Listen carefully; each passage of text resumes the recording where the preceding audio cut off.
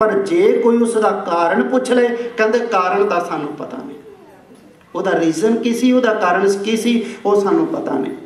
ਸਤਿਗੁਰੂ ਸੱਚੇ ਪਾਤਸ਼ਾਹ ਜੀ ਦੀ ਪਾਵਨ ਬਾਣੀ ਨੂੰ ਵਿਚਾਰਨਾ ਹੀ ਪੈਣਾ ਹੈ। ਪਾਵਨ ਬਾਣੀ ਨੂੰ ਵਿਚਾਰਨ ਤੋਂ ਬਿਨਾ ਸਾਨੂੰ ਜੀਵਨ ਦੇ ਵਿੱਚ ਸੇਧ ਨਹੀਂ ਮਿਲ ਸਕਦੀ।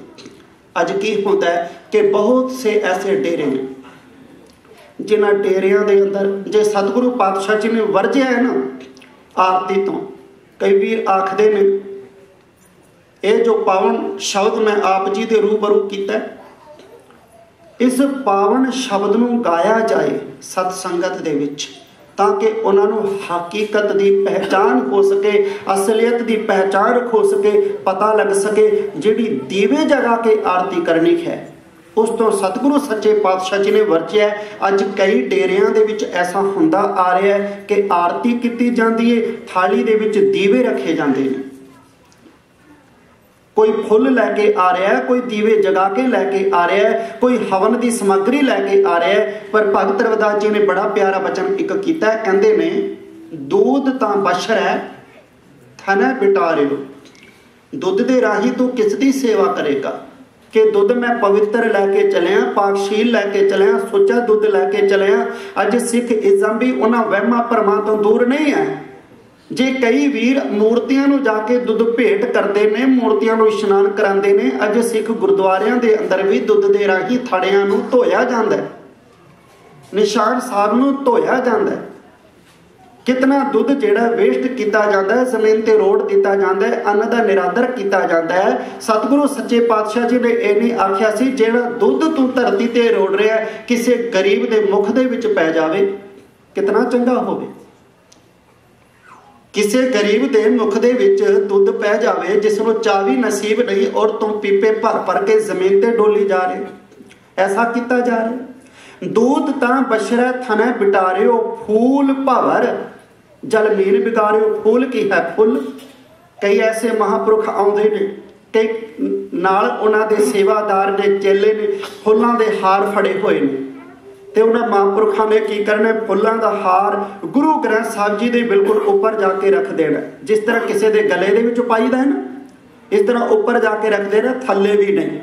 ਪਰ ਸਤਿਗੁਰੂ ਸੱਚੇ ਪਾਤਸ਼ਾਹ ਜੀ ਨੇ ਫੁੱਲ ਵਾਸਤੇ ਵਰਜ ਦਿੱਤਾ ਤੁਸੀਂ ਇੰਡੀਆ ਦੇ ਵਿੱਚ ਜਾ ਕੇ ਵੇਖੋਗੇ, ਜੋ ਮੈਂ ਆਪ ਆਪਣੇ ਨੇਤਰਾਂ ਦੇ ਨਾਲ ਵੇਖਿਆ ਕਿ ਚੱਪਲਾਂ ਸਮੇਤ, ਜੋੜਿਆਂ ਸਮੇਤ ਜਿਹੜੇ ਗੱਡੀਆਂ ਦੇ ਵਿੱਚ ਫੁੱਲਾਂ ਦਾ ਵਣਜ ਵਪਾਰਿਕ ਥਾਂ ਤੋਂ ਲੈ ਕੇ ਦੂਜੀ ਥਾਂ ਲੈ ਕੇ ਜਾਂਦੇ ਨੇ ਨਾ ਫੁੱਲਾਂ ਨੂੰ, ਫੁੱਲਾਂ ਦੇ ਉੱਪਰ ਬੈਠੇ ਬੈਠੇ ਹੁੰਦੇ ਨੇ, ਜੋੜਿਆਂ ਸਮੇਤ ਚੱਪਲਾਂ ਪਾ ਕੇ, ਕਿਉਂਕਿ ਉਹਨਾਂ ਨੇ ਧਿਆਨ ਥੋੜਾ ਵੇ ਦੇਣਾ। ਉਹਨਾਂ ਨੇ ਬੀੜੀਆਂ, ਸਿਗਰਟ ਉੱਪਰ ਸੁੱਟੇ ਹੁੰਦੇ ਨੇ। ਔਰ ਉਹੀ ਫੁੱਲ ਉਹਨਾਂ ਦਾ ਹਾਰ ਬਣਾ ਕੇ ਕਈ ਕਰਦੇ ਨੇ ਕਿ ਚਲੋ ਜੀ, ਜਾ ਕੇ ਫੁੱਲਾਂ ਦਾ ਹਾਰ ਬਣਾਇਆ, ਗੁਰੂ ਗ੍ਰੰਥ ਸਾਹਿਬ ਜੀ ਦੇ ਉੱਪਰ ਰੱਖ ਦਿੱਤਾ। ਗੁਰੂ ਗ੍ਰੰਥ ਸਾਹਿਬ ਜੀ ਦੇ ਕਦਮਾਂ ਦੇ ਵਿੱਚ ਭੇਟ ਕਰ ਦਿੱਤਾ। ਅਗਿਆਨਤਾ ਦਾ ਅਗਰ ਇਨਸਾਨ ਨੂੰ ਪਤਾ ਲੱਗ ਜਾਵੇ ਕਿ ਮੈਂ ਕਰ ਕੀ ਰਿਹਾ, ਦੂਧ ਤਾਂ ਬਸ਼ਰਾ ਥਣੈ ਬਿਟਾਰਿਓ, ਫੂਲ ਭਵਰ, ਭਵਰੇ ਨੇ ਫੁੱਲ ਨੂੰ ਝੁੱਠਾ ਕਰ ਦਿੱਤਾ। ਫੂਲ ਭਵਰ ਜਦ ਮੀਰ ਬਿਗਾਰਿਓ ਪਾਣੀ ਨੂੰ ਝੁੱਠਾ ਕਰ ਦਿੱਤਾ ਮਛਲੀ ਨੇ।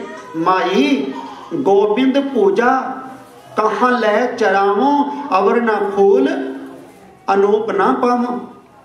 ਕਿ ਅਕਾਲ ਪੁਰਖ ਦੀ ਪੂਜਾ ਤੂੰ ਕਿਵੇਂ ਕਰੇਗਾ? ਝੂਠੇ ਪਦਾਰਥਾਂ ਦੇ ਨਾਲ ਅੱਜ ਅਸੀਂ ਵੀ ਤੇ ਇਹੀ ਕੁਝ ਕਰਦੇ ਹਾਂ। ਜੇ ਸਤਿਗੁਰੂ ਨੇ ਉਹਨਾਂ ਨੂੰ ਵਰਜਿਆ ਸੀ ਕਿ ਇਹ ਤੁਸੀਂ ਕੀ ਪਏ ਕਰਦੇ ਹੋ? ਉਹਨਾਂ ਨੇ ਤੇ ਗੱਲ ਨੂੰ ਸਮਝ ਲਿਆ, ਪਰ ਅਸੀਂ ਨਹੀਂ ਸਮਝੇ। ਅਸੀਂ ਵੀ ਗੁਰੂ ਗ੍ਰੰਥ ਸਾਹਿਬ ਜੀ ਨੂੰ ਭੋਗ ਲਵਾਉਂਦੇ ਅਸੀਂ ਵੀ ਉਹੀ ਕਰਮ ਕਰਦੇ ਹਾਂ ਤੇ ਕਈ ਥਾਵਾਂ ਤੇ ਐਸਾ ਕੀਤਾ ਜਾਂਦਾ, ਪਰਦੇ ਲਾਏ ਜਾਂਦੇ ਨੇ। ਕਈ ਥਾਵਾਂ ਤੇ ਡੇਰਿਆਂ ਦੇ ਵਿੱਚ ਐਸਾ ਕੀਤਾ ਜਾਂਦਾ ਹੈ, ਪਰਦੇ ਲਾਏ ਜਾਂਦੇ ਨੇ, ਪੁੱਛਿਆ ਜਾਂਦਾ ਹੈ, ਇਹ ਕੀ ਕਰ ਰਹੇ ਹੋ? ਕਹਿਣ ਕਿ ਗੁਰੂ ਗ੍ਰੰਥ ਸਾਹਿਬ ਜੀ ਦੇ ਕੱਪੜੇ ਤਬਦੀਲ ਕਰ ਰਹੇ ਆ ਕੱਪੜੇ ਚੇਂਜ ਕਰਨੇ ਮੈਂ ਕਿਹਾ, ਕਮਾਲ ਦੀ ਗੱਲ, ਇਹ ਕਿਉਂ? ਕਹਿਣ ਲੱਗੇ, ਗਿਆਨੀ ਜੀ, ਤੁਸੀਂ ਕੱਪੜੇ ਤਬਦੀਲ ਕਰਦੇ ਹੋ ਤੇ ਤੁਸੀਂ ਕਿਸੇ ਦੇ ਸਾਹਮਣੇ ਕਰਦੇ ਮੈਂ ਕਿਹਾ, ਕਮਾਲ ਦੀ ਗੱਲ ਹੈ। ਕਿ ਤੁਸੀਂ ਗੁਰੂ ਗ੍ਰੰਥ ਸਾਹਿਬ ਜੀ ਨੂੰ ਮੇਰੇ ਨਾਲ ਜਾਂ ਇਨਸਾਨ ਦੇ ਨਾਲ ਤੁਲਨਾ ਕਿਉਂ ਦੇ ਦਿੱਤੀ ਹੈ? ਕਿ ਜੋ ਮੈਂ ਕਰਦਾ, ਉਹ ਗੁਰੂ ਵੀ ਕਰਦਾ? ਮੈਂ ਤੇ ਖਾਂਦਾ ਵੀ ਹਾਂ, ਕੱਪੜੇ ਪਾਉਂਦਾ ਵੀ ਹਾਂ, ਸੌਂਦਾ ਵੀ ਹਾਂ, ਜਾਗਦਾ ਵੀ ਹਾਂ, ਮੇਰੇ ਤੇ ਬਾਕੀ ਦੇ ਵੀ ਕਰਮ ਨੇ। ਕਿ ਸਭ ਕੁਝ ਗੁਰੂ ਉਹੀ ਕੁਝ ਕਰੇਗਾ ਜੋ ਇਨਸਾਨ ਸਭ ਕੁਝ ਕਰਦਾ ਆ ਰਿਹਾ ਮੈਂ ਕਿਹਾ, ਚਲੋ ਠੀਕ ਹੈ, ਆਪ ਜੀ ਦੀ ਗੱਲ ਮੰਨ ਵੀ ਲਈ ਜਾਵੇ ਕਿ ਤੁਸੀਂ ਕੱਪੜੇ ਲਾ ਕੇ, ਪਰਦੇ ਲਾ ਕੇ ਕੱਪੜੇ ਤਬਦੀਲ ਕਰਦੇ ਹੋ, ਪਰ ਜਦੋਂ ਹੁਕਮਨਾਮਾ ਲਿਆ ਜਾਂਦਾ ਹੈ, ਉਦੋਂ ਕੀ ਕਰੋਗੇ? ਜਦੋਂ ਸੁਖਾਸਨ ਕੀਤਾ ਜਾਂਦਾ ਹੈ, ਉਦੋਂ ਕੀ ਕਰੋਗੇ? ਉਦੋਂ ਫਿਰ ਉਹਨਾਂ ਦੇ ਕੋਲ ਕੋਈ ਜਵਾਬ ਨਹੀਂ। ਦੂਧ ਤਾਂ ਬਸ਼ਰੇ ਥਨੈ ਬਿਟਾਰਿਓ, ਫੂਲ ਭਵਰ ਜਲ ਮੀਨ ਬਿਗਾਰਿਓ, ਮਾਈ ਗੋਬਿੰਦ ਪੂਜਾ ਕਹਾਂ ਲੈ ਚਰਾਵੋ ਅਵਰਨਾ ਫੂਲ ਅਨੂਪਨਾ ਪਾਵੋ। ਮੈਲਾ ਕਰ ਬੇਰੇ ਹੈ ਭਯੰਗਾ ਬਿਖ ਅੰਮ੍ਰਿਤ ਬਸੈ ਇੱਕ ਸੰਗਾ। ਕਹਿੰਦੇ ਨੇ ਮੈਲਾ ਕਰ ਤੂੰ ਚੰਦਨ ਦੇ ਰਾਹੀਂ ਪੂਜਾ ਕਰੇਗਾ, ਚੰਦਨ ਵੀ ਤੇ ਸਭ ਆਲੇ ਦੁਆਲੇ ਲੰਕੇ ਰਹਿੰਦੇ ਨੇ, ਉਹਨਾਂ ਨੇ ਝੂਠਾ ਕਰ ਦਿੱਤਾ। ਗੱਲ ਕੀ ਭਗਤ ਰਵਿਦਾਸ ਜੀ ਨੇ ਨਿਚੋੜ ਇਹ ਕੱਢਿਆ ਕਿ ਅਗਰ ਕੁਝ ਭੇਟ ਕਰਨਾ ਨਾ, ਤਨ ਮਨ ਅਰਪੋਂ ਪੂਜ ਚਰਾਵੋਂ ਗੁਰ ਪ੍ਰਸਾਦ ਨਿਰੰਜਨ ਪਾਵੋ ਕਿ ਆਪਣਾ ਤਨ ਮਾਲਕ ਦੇ ਕਦਮਾਂ ਦੇ ਅੰਦਰ ਭੇਟ ਕਰਦੇ ਆਪਣਾ ਮਨ ਮਾਲਕ ਦੇ ਕਦਮਾਂ ਦੇ ਅੰਦਰ ਭੇਟ ਕਰ। ਮਨ ਭੇਟ ਕਰਨ ਦਾ ਮਤਲਬ ਹੈ ਕਿ ਗੁਰੂ ਕੇ ਵਿਚਾਰਧਾਰਾ ਨੂੰ ਜੀਵਨ ਦੇ ਵਿੱਚ ਅਪਣਾ ਲੈਣਾ। ਗੁਰੂ ਕੇ ਸਿਧਾਂਤ ਨੂੰ ਜੀਵਨ ਦੇ ਵਿੱਚ ਅਪਣਾ ਲੈਣਾ ਜ਼ਰਮਾਨੀ ਦਾ ਇੱਕ ਬੜਾ ਵੱਡਾ ਵਿਚਾਰਕ ਹੋਇਆ। ਜਿਸ ਵੀ ਕਿਸੇ ਨਗਰ ਦੇ ਵਿੱਚ ਜਾਣਾ, ਜਿਸ ਵਿੱਚ, ਜਿਸ ਵੀ ਕਿਸੇ ਸ਼ਹਿਰ ਦੇ ਵਿੱਚ ਜਾਣਾ, ਉਹਦਾ ਸਭ ਤੋਂ ਪਹਿਲਾਂ ਕਰਮ ਕੀ ਹੁੰਦਾ ਸੀ ਕਿ ਉਸਨੇ ਕੋਈ ਬੁੱਕ, ਕੋਈ ਕਿਤਾਬ ਖਰੀਦ ਕੇ ਆਪਣੇ ਕੋਲ ਰੱਖਣੀ। ਕਿਸੇ ਵੀ ਨਗਰ ਦੇ ਵਿੱਚ ਜਾਣਾ, ਉਹਨੇ ਇੱਕ ਕਿਤਾਬ ਉੱਥੋਂ ਜਾ ਕੇ ਖਰੀਦ ਲੈਣੀ ਤੇ ਆਪਣੇ ਘਰ ਦੇ ਵਿੱਚ ਲੈ ਕੇ ਵਾਪਸ ਪਰਤਣਾ, ਇੱਕ ਬਹੁਤ ਵੱਡੀ ਲਾਇਬ੍ਰੇਰੀ ਬਣ ਗਈ ਘਰ ਦੇ ਵਿੱਚ। ਜਦੋਂ ਉਹ ਅਖੀਰਲੇ ਦਮਾਂ ਤੇ ਸੀ ਉਸ ਦੇ ਯਾਰ, ਮਿੱਤਰ, ਦੋਸਤ, ਸੱਜਣ ਇਕੱਠੇ ਹੋ ਗਏ। ਤੇ ਇਕੱਠੇ ਹੋ ਕੇ ਜਦੋਂ ਘਰ ਦੇ ਵਿੱਚ ਆ ਕੇ ਵੇਖਿਆ, ਬਹੁਤ ਵੱਡੀ ਲਾਇਬ੍ਰੇਰੀ ਬਣੀ ਹੋਈ ਹੈ। ਤੇ ਉਹਨਾਂ ਮਿੱਤਰਾਂ ਨੇ ਇੱਕ ਗੱਲ ਕੀਤੀ ਸੀ।